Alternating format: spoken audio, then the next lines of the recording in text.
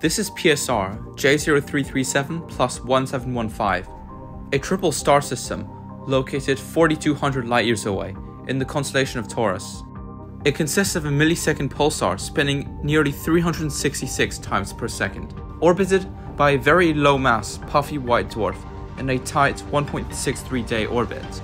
The pair are in turn orbited by an undetected and presumably older and dimmer white dwarf with a mass approximately 40% that of the Sun, whose orbit lasts about 11 months and is located only about 18% further from the inner binary than the Earth is from the Sun.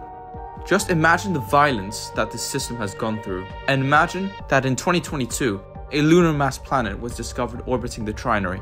More on that later. Firstly, how did such an extreme stellar system come together, and in such a small space? There have been several theories attempting to explain the formation of this insane system, but the most accepted theory goes like this. Many eons ago, the PSR J0337 plus 1715 system forms as a triple system, consisting of an 8 solar mass B type star orbited by a pair of smaller, more sun like main sequence stars, themselves in a relatively wide orbit around each other.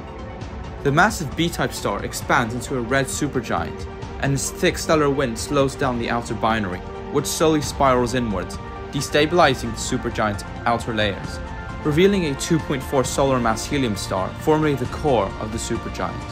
As the outer binary spirals in, it breaks apart due to tidal forces from the primary.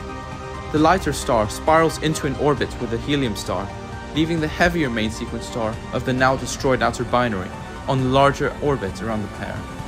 The main sequence star in the inner binary strips matter off the helium star into an accretion disk with jets coming off the poles, exacerbating the helium star's mass loss, revealing a massive white dwarf at its former core. The inner binary is much closer together by this point. The outer main sequence star now expands into a red giant, and the inner binary now feeds on its outer layers, pulling them away and revealing a small helium white dwarf. Some of the mass pulled away is piled on top of the white dwarf, making it exceed the Chandrasekhar limit and go through a Type 1a supernova, producing the neutron star we observe today. Finally, as the main sequence star in the inner binary starts to evolve off the main sequence, its outer layers expand. However, they are very quickly siphoned away by the neutron star, producing another very light, low mass white dwarf, which we observe today as the inner puffy white dwarf. This is probably the most eventful formation history for any known star system as of now. And such an intricate theory is needed to explain such an extraordinary system. Believe it or not, this system is actually a crucial testing ground for Einstein's equivalence principle, one of general relativity's most crucial ideas, which states that gravitational and inertial masses of an object must be the same, and so it is impossible to distinguish between an inertial force due to acceleration and a gravitational force resulting from the curvature of spacetime by mass. The strong equivalence principle is an extension of this, stating that the same principle also applies to self-gravitating objects like neutron stars. A 2019 analysis of pulsar timing variations from PSR J0337 plus 1715 over 6 years found zero violation of this principle, and any difference between the inertial and gravitational mass of the pulsar than 0.00026%, which is pretty good, and a percentage is 1000 times smaller than previous strong field tests. So as of now, Einstein's theory still hold up fine, even in extreme environments such as this. What if I were to tell you that in the midst of these extraordinary environments, a 2022 paper concluded that a small residual signal, incompatible with noise, is likely caused by a planet orbiting the system?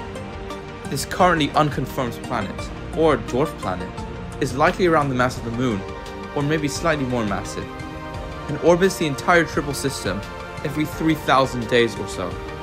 With its tiny object included, the model fits the observed data much better than without it.